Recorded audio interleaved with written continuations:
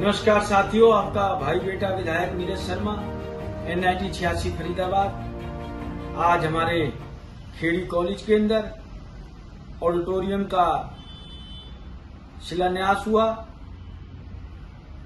और मुझे बड़े दुख के साथ कहना पड़ रहा है कि मुख्यमंत्री जी एक तरफ़ तो कहते हैं सबका साथ, सबका विकास, सबको एक आँख से देखता हूँ, कथनी और करनी में ज़मीन आसमान है।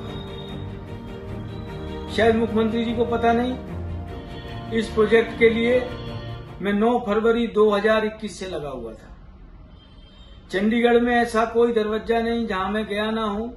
इसकी फ़ाइल को लेके आगे ना बढ़ा हूँ और इसका टेंडर लगा और बड़ा दुख हुआ।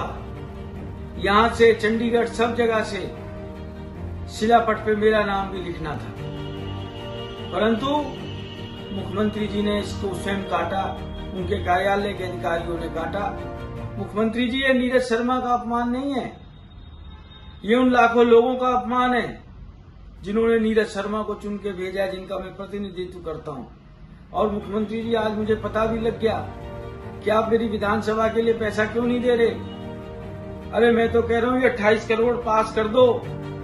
भले ही फ़ाइल पे लिख देना कि इसमें नीरज शर्मा का कोई योगदान नहीं है। शिलापट पे आप नाम मेरा लिखो या ना लिखो। लोगों के दिलों पे मेरा नाम लिखा हुआ है।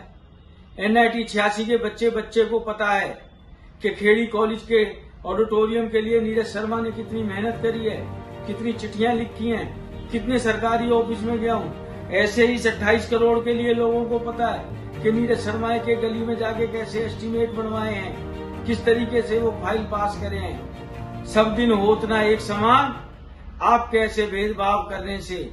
न आपका भला होगा, न हरियाणा का भला होगा, न एनआईटी छियासी की जनता का भला होगा। अब भी वक्त है, बड़ा दिन रखिए।